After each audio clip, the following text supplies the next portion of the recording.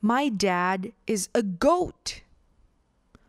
Dad reads a newspaper.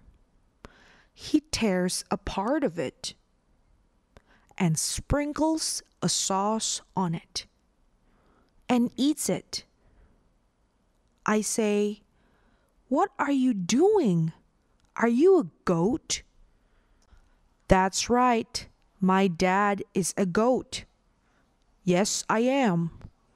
No way. Question 1. What is your father's personality?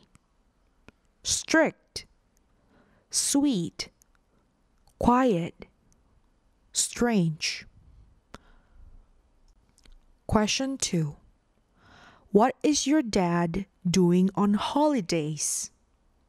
Sleeping, watching TV, climbing, fishing. Question 3.